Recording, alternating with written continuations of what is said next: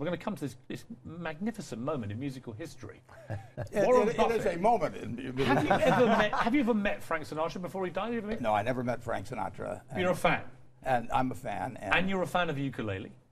yes, and, and you just handed me this We bought you ukulele, this just to make and- it clear to viewers. Uh, Warren has not played this instrument before, this particular one. We purchased this in New York City today, but we believe it's a good one. He has had a little practice on it. You're ready to go.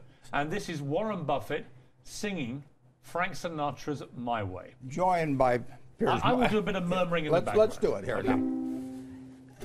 Now the end is near, and so I face the final curtain. My friends, I'll say it clear. I'll say the fact, something or else or, of which I'm certain. certain. I've lived a life that's full and traveled each and every highway and more, much more than this.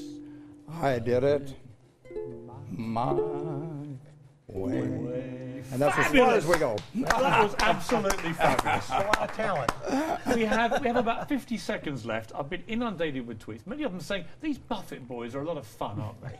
We have a lot of You- fun. you don't do this kind of interview very often, Warren. I mean, how have you enjoyed the last hour? I've enjoyed it a lot. I, I, I always enjoy uh, being with these, and I've enjoyed this. And uh, I think maybe we can show up at the Grammys, the two of us.